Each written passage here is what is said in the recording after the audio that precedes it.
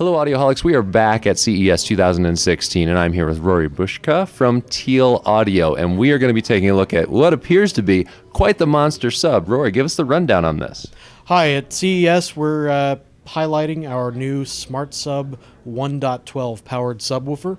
Um, it is our first powered subwoofer to feature Wi Fi based app control. Um, it also features the latest generation of our Smart Sub room correction technique and uh, also features uh, wireless audio capability built right in.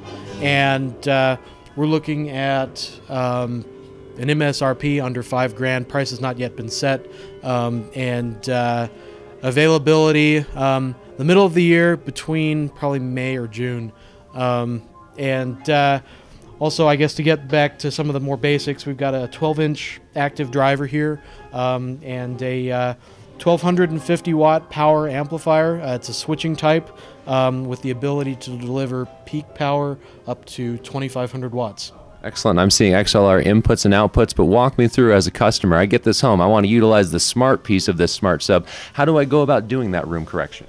Well, um, it's accessible through a smartphone app that we've developed. Um, we are we're currently showing the iOS version, and we will be also be supporting Android by the time we uh, by the time we ship.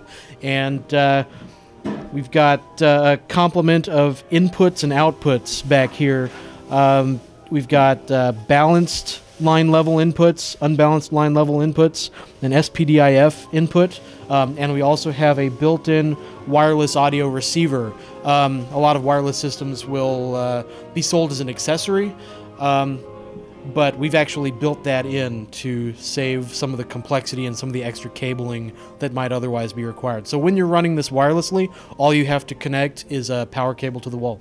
Fantastic. Isn't it great when technology just keeps our audio moving forward, getting better, getting easier? Thank you so much, Rory from Thiel. And we are we're going to be taking a look at some of the other products in the room also. You'll see those in a, in a little write-up at audioholics.com. If you're not yet a subscriber, go to youtube.com slash audioholics to make sure you get the best of CES 2016.